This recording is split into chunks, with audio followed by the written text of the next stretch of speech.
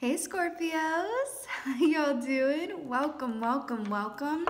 I hope that you had the most beautiful of holidays and I hope you have the most amazing new year in 2020. Um, we're going to be doing your first half of January general reading here. Let's talk. First things first, you're going to have the most amazing spring of your life. Okay? In terms of the season. I actually do feel a bit of a springboarding uh, energy here, but the springtime. I literally saw the Scorpio Collective riding along on a bicycle while cherry blossoms are in bloom down this very gilded path like sunshine and laughter. And I'm telling you, there's something about the springtime. It's going to be the best spring of your life. Okay?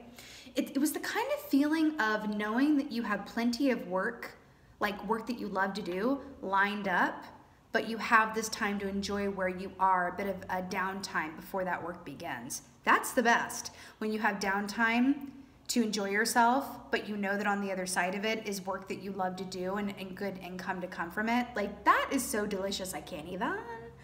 Um, I also got something kind of um, interesting. I heard Red Badge of Courage, which I believe is a Civil War movie, I think. And then I saw Robert Redford and I'm not exactly sure what it means. Robert Redford, I mean, he's been in the entertainment business for a really long time.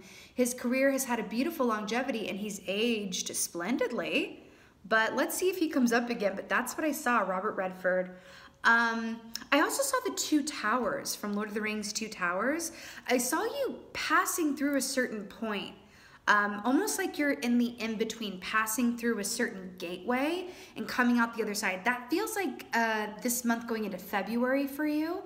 And then once you hit springtime in March, it's like full steam ahead. So it's almost as if January and February is kind of a beautiful opportunity to ready set yourself. I mean, it's going to be active, darlings, but ready set yourself before really springboarding into the rest of the year um, come March time. Okay.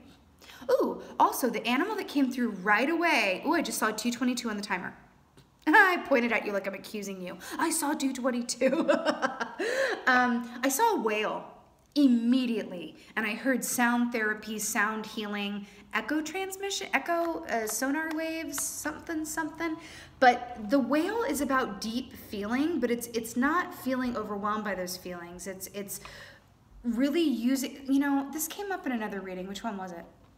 I feel like more than one, but your emotions, your emotions is the is the gas, right, that fuels your intuition. I feel like I've said that all day today, but your emotions are the gas that fuel your intuition. So you can only really be receiving clear guidance from an intuitive standpoint if your emotions are balanced and well tended to. Okay? And the whale represents that. Stunning. All right. Ooh, what's the animal energy for my Scorpio for first half of January? I keep hearing it, March into April, March into April, March into April. Wait a minute, did you guys get Swan last time? Hmm. Um, okay. So we have the swan here, absolutely stunning water energy here. This speaks, I, this is, I swear you got this last time or the time before, something, something. Anyway, so this is about, you know, beautiful reflective surface, seeing yourself clearly as you truly are, right? Your essence point. Sometimes it can be really easy, especially um, when we have yet to break free of programming uh, from our childhood, programming from even adulthood, right? Especially if we are coming from a background where a large amount of emphasis was placed on how we look or didn't look. Something about that, darlings feel like you're stepping into a point, uh, stepping into a place where part of a platform that you are assuming and taking, lovingly taking on and assuming, is speaking the truth behind the power in loving exactly what you see. Not looking in the mirror and going, I would change this, I would edit this, I don't like this about myself, if only I could, blah, blah, blah, right? No, it's really going, actually, I love what I see, and I am becoming a beacon for the others out there. I'm hearing the word others. Others for me represent anyone that falls outside of the societal norm or standard of what is lovable, quote, what is conventionally attractive, quote. right? There has been this reoccurring theme in your readings, my, my darling Scorpios, of revolution and um, being a beacon and a point of hope for the underdog, for the underprivileged, for the outcasts, for those who fall outside of the societal norm. And I'm really feeling that with this swan energy. Now, also, this also represents counterparts, divine uh, feminine, divine masculine energy coming together. Also about the divine feminine and masculine that lives within all of us, having a balanced relationship within that, which is just another way of saying that we give and receive in equal measure, right? When we give and receive in equal measure, that is the sweet spot. It's just like I said when I saw you guys in the spring having vacation time before it gets really, really busy with the good work. That's what it is. That's what this feels like to me. It's very vibey. Traditionally speaking, swans represent romantic love as well. Okay? Wait a minute. Oh, how did I miss this? Okay. I'm to make an obscure musical reference. It should come as no surprise. There's a musical called Honk, which is the story. It's a it's a British musical. Uh, I think it's from the 70s maybe. Um, the, there's it's the story of the ugly ducking, duckling and how it turns into a swan. There's something here about the ugly duckling turning into a swan, but it's not because the physical, uh, you know, the outer uh, appearance changes necessarily. It's about embodying, no longer seeing yourself as an ugly ducking, duckling, and in doing that and making that internal shift, you become the swan. Ooh, All right. Let's see what's going on for Scorpio. Scorpio. It does feel like a love infusion too. It just feels really happy. okay, so Nine of Swords. This is the past energy coming in that, that may or may not affect the present. So what I want to go to immediately are these fabulous flowers because I was seeing a lot of flowers around the springtime, right? So I feel like this is directly speaking to what I was just saying about the ugly duckling and the swan thing. Remember when I said before we have broken out of our conditioning, right? That can come in many different forms, like I said we can definitely be in this Nine of Swords place of what keeps us up at night, nightmares, old versions of ourselves that come back to haunt us in our dream state. We can feel really strong during the day sometimes. You know what I mean? I'm reciting my mantras, I'm staying in a place of gratitude and self-love, I'm eating my spiritual Wheaties, all of that good stuff. Then sometimes our subconscious will come a calling in the nighttime and it's like, Hey, you still have this left to heal. Look at me, look at me, look at me, look at me, look at me. It's almost like an inner child for some of y'all going, look at me. Damn it, look at me. Don't yell at me. Don't scold me. Don't ignore me. Do not ignore me. Look at me. And in doing so, look at us. Okay? Something in that. But I feel like the whole point of this is that in doing this, you are becoming very well versed in how to help others do the same. Do you understand?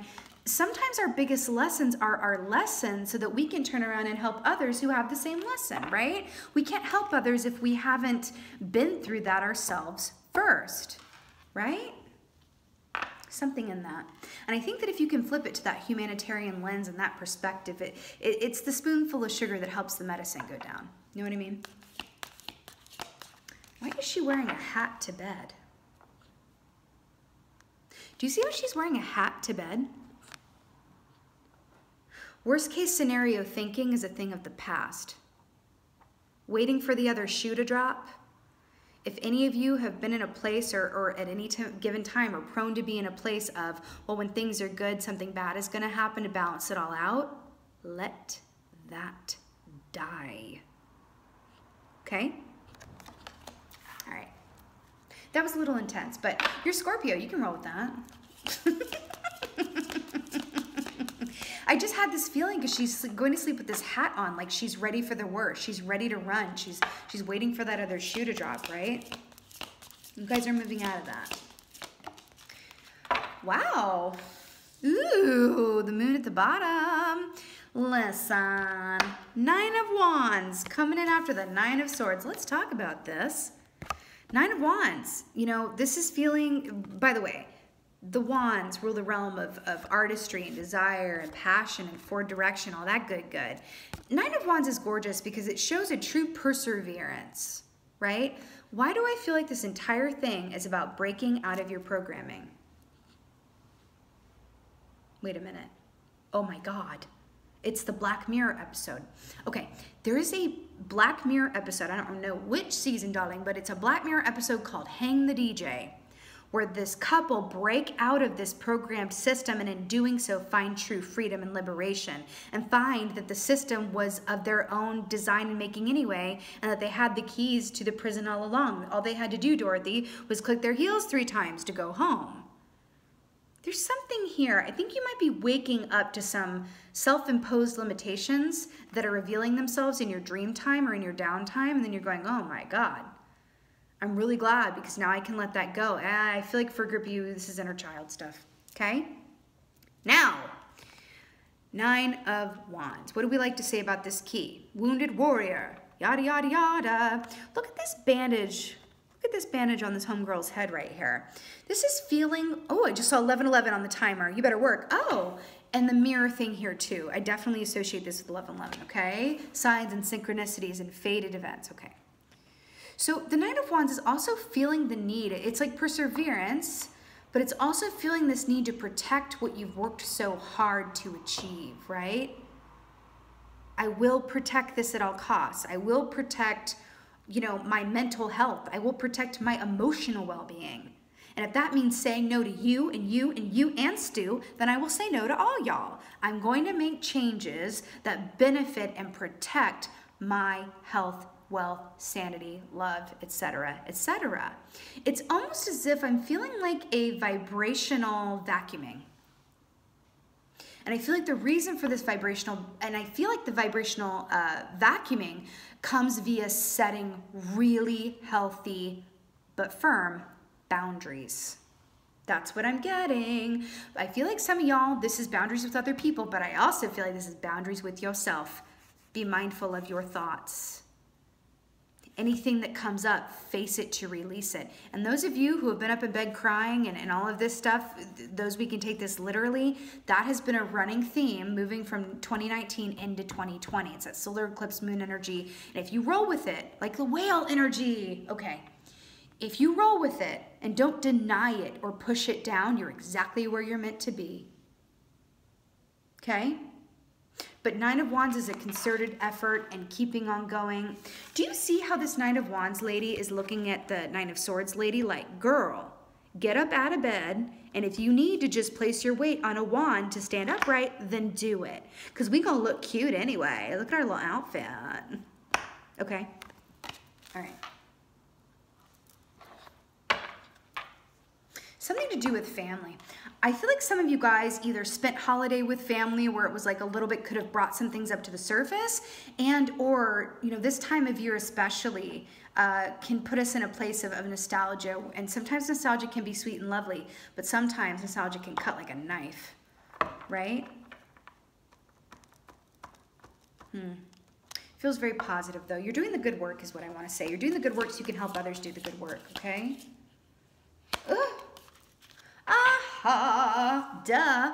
First of all, at the bottom of the deck, you have Six of Cups, which is soulmate, nostalgic, love, and childhood memories. And I've been talking about inner child and childhood things. So there you are um, with your water sign energy here. King of Pentacles, don't you know that's what it is? Um, earth sign energy here. Uh, Capricorn, Virgo, Taurus right? This is material abundance, darling. Oh, wait a minute. Wait a dang minute. Doesn't this look like the springtime? Actually, Taurus's birthdays are on the springtime, ain't it? Though, I'm obsessed. I feel so much spring from a new brain. Uh, yes, a lot of musical references. You know, get with it. there's a song from a musical called A New Brain. Actually, I feel like that's really pertinent and poignant a new brain um, called I Feel So Much Spring. Um, It's beautiful. So, this is about material health, wealth, and abundance. This is about being in a beautiful place of receptivity and letting yourself be nurtured and looked after. I feel like I'm connecting in with a collective of you who's used to being in a masculine energy. Again, I'm not speaking of gender, how boring. I'm talking about a masculine energy of, you know, bringing home the bacon making it work, getting it done, fixing it, going after it, right? And I feel like you're being called, uh, you know, around all of this, right? To also in tandem give and receive in equal measure. Let yourself be nurtured and taken care of. Don't you take care of others like a lot? Yeah. Letting yourself be, it does not mean, that does not translate to you're weak or, you know, you're overly needy. Okay? True strength lies, and vulnerability. Brene Brown, all day, every day, honey. If you have not read Brene Brown, read her. Okay? True strength lies in vulnerability. I feel like you are discovering that in a whole new way coming up here, and it's gorgeous and stunning in Capricorn season. Okay? All right. I feel like that's part of your message too people are going to find so much strength as you showcase your and no as you reveal your own vulnerability. And as a scorpio okay and i can relate to you on this in such a big way not just because i'm a scorpio moon but because i'm an aquarius. We love we love love love. I don't even want to say secrets but we love our privacy. Do you know what i'm saying? We need it's like a need to have things that are just our own. We don't want to expose every thought and feeling to the stimuli or energy or imprint of others. It feels wrong. We can love someone more than anything in the world, and we will still feel the need to keep some things for ourselves, not to ourselves, for ourselves. Right? But I feel like you are finding that the more that you reveal around your mission work, around what you're here to do on the soul plane, using your voice to communicate what you know, what you've learned, and what you've not uh, Nahko. Is that how it's pronounced? Nahko, the bear, Nahko medicine for the people? That's coming through. If you're familiar with that artist, he's like a, a wonderful musician whose platform is, it feels very aligned with this. I wonder what his sign is. But his platform feels very aligned with what I'm tapping into here, okay? Medicine for the people, you don't say. Feels like there's a connective link there. Okay, let's go right to the Nine of Swords. But you're realizing, like the more that I reveal and, and let other people see, they're deriving strength from my vulnerability. And so somehow it's just all worth it. Darlings, Two of Swords. To clarify the Nine of Swords, this is exactly what I was saying already.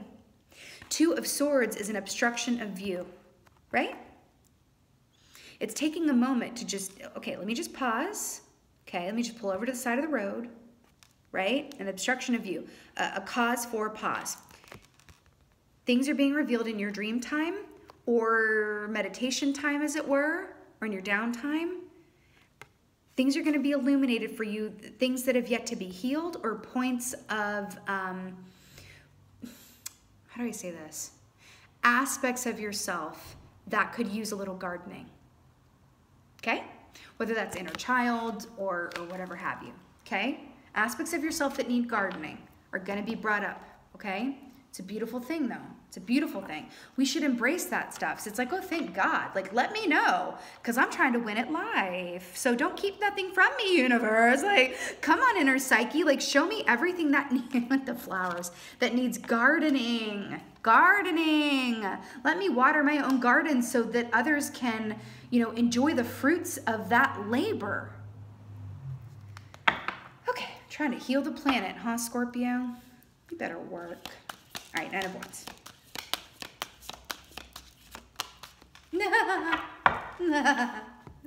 Showing up as the Three of Cups, you better work.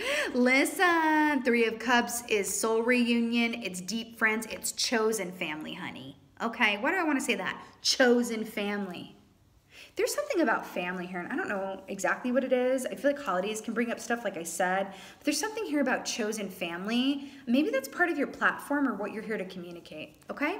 About chosen family, what that looks like, um, how you can, you know, just because you're related to someone by blood does not mean you owe them a damn thing, okay? Anyway, Three of Cups to clarify the Nine of Wands. This is major cause for celebration, but I feel like you're very supported by your tribe, okay? I feel like they're the foundation. I feel like they're watering the roots here and going, we have got you. I feel like whoever I'm connecting with has some damn good friends, damn good chosen family, thick and thin type vibe, right? But this is major cause for celebration and good times. I almost feel like they're saying like, keep on going, you're almost there, you're almost there.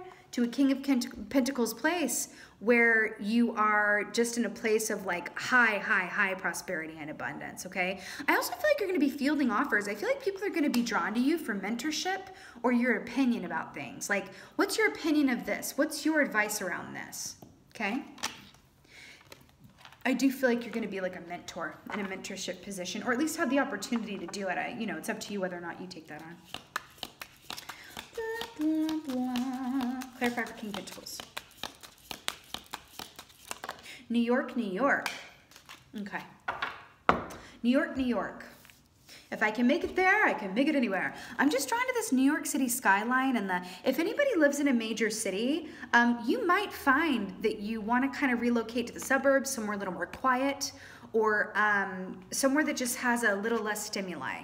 Also, I feel like this is really specific. Some of you guys are gonna be going to a retreat or holding a retreat or getting the idea. I'm seeing like a feminine writers group retreat or like a feminine something. We're coming together in a retreat formation to you know nurture each other and support each other in the divine feminine collective something that's very specific but it's for somebody and i'm obsessed okay and i feel like it's outside of the city limits for whoever that's for all right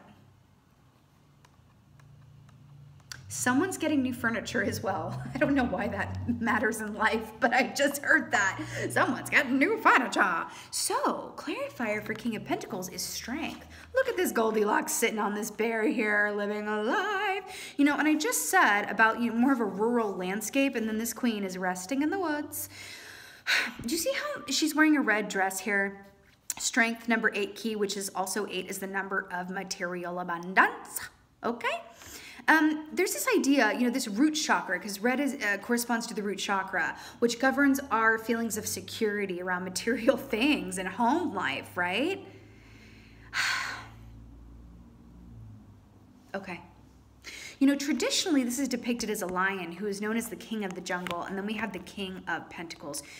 You are not just, I keep on wanting to say it, ascending. I feel like you are ascending to a place where you're going to get there and just go, my God, I want for nothing. I'm, I, it took a hell of a lot of work and time to get here, but now I feel like I'm sitting in this place, not just of gratitude, but of true perspective. Okay, you're gonna write something. I, they keep telling me um, journals, articles, um, what is that, blogs or uh, TED Talks, uh, TED Talks, um, books, um, articles, writing something, okay? Because Pentacles, yeah, very much of that realm, writing something, writing it down. Now is it now it is very important to write. Okay? Very important to write. Because I feel like you're gonna want to document right now so that you can look back later and go, oh my God. Okay, they're showing me something very specific. Carrie Bradshaw. Let's talk about it. Sex in the City. When she got offered her first book deal, they were like, just give us all of your best um, articles that you wrote for the newspaper. So she, all she had to do was write a foreword. That is very pertinent. I feel like some of you guys are gonna wanna document journal style what's going on right now. And then part of whatever this is you're writing in the future, whether it's an article, book, or whatever, it's already written because you've already documented documented it up until this point. And writing it in real time is going to be much more effective than, than um, writing it in the future and trying to remember what it was like in the moment. Okay? That's really important for somebody. You better work. Go get your empire, boo. All right. Let's get a gorgeous guidance for my sculpts. okay, I actually feel like the bottom is for you too. Okay. Guinevere true love, the romantic stirrings in your heart have propelled the universe to deliver great love to you. Remember when I said that the swan is very much about romantic love? I'm really obsessed with this, but I gotta take it to another place for a moment. I gotta take it to another place for a moment. Remember when I said that this is about looking in the mirror and really loving what you see without edits, without additions, without subtractions? That's what I feel like the main key of this is. Yes, do I feel like you guys are linked up or linking up with a true soulmate who fills your heart with joy and 11 11 and all of that? Yes, but why do I want to say that that's besides the point? it, I, it, it feels besides the point. It's like yada, yada, yada. But here's how you're changing the world. I'm obsessed. I feel like this true love is something that you're embodying for and within yourself, and it's emitting through these vibrational waves that are affecting everyone in your atmosphere. And I'm obsessed. You know, also these lilies speak of a purity as well. Again, I, I mean, I, am really feeling this childhood thing. You can even be looking at pictures of your childhood or, or yourself as a child and going like, wow, where is that girl or that boy in me now? Right? When I look in the mirror, can I see that kid? Okay. Guinevere, King Arthur. Right? Guinevere was the consort of, of King Arthur or Lancelot or something to do with that. Red string of fate. You're exactly where you're meant to be right now. I'm also getting a special um, message about emeralds. Emeralds, uh, color green, color of the heart chakra. Emeralds, emeralds, emeralds, emeralds. When is the birthstone for emerald? Is that May? Whenever the birthstone for emeralds is, it's a very pertinent, uh, poignant time, something to do with emeralds. Okay? I'm obsessed. Oh, Emerald City. Emerald City, I was talking about Dorothy.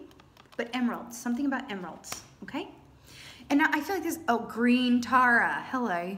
Green Tara, uh, start delegating. Ask others, including me, to help you instead of trying to do everything by yourself. Why do I feel like this is so beautifully pertinent for you? Let me read that again for the seats in the back. Ask others, including me, to help you instead of trying to do everything by yourself. I feel like this is directly commenting on this wounded warrior situation and calling upon your chosen family and your tribe to help uplift and support you. You don't always have to be strong. The strength is in the vulnerability, right? Okay, my darling Scorpios, I think I've run my mouth enough. Um, I am not worried about you at all. This is absolutely epic at the end of the day, you keep getting swan as your energy, which is just all about love and purpose and truth and clarity and water for my water sign. You know I love it when that happens. So at the end of the day, you're exactly where you're meant to be. Um, and I'm just, I'm just really happy for y'all. So you better work and get it, Scorpio. With that being said, this is your first half of January general reading. I so hope this helped and resonated with you. If so, please let me know in the comments below. You know I live for that. Um, and as always, just thank you so much for being here. I really appreciate every single one of y'all for taking the time to watch. And as always, thank you for being you. And be well. Until next time.